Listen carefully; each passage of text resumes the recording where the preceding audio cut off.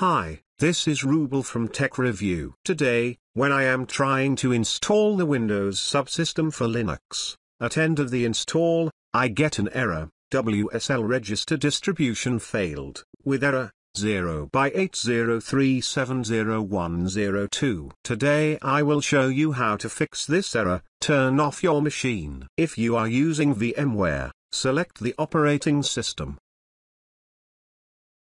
Click on the processor. Under the virtualization engine, click on this. Click on OK. Or if you are getting this error, into a physical machine, go to the BIOS, and enable the virtualization. After enabling the virtualization, save and exit from the BIOS. Now turn on the computer. After opening the Windows, open your subsystem. It's solved. Thanks for watching this video. Hope you like this, please do subscribe to my channel. Also give a like please. Take care.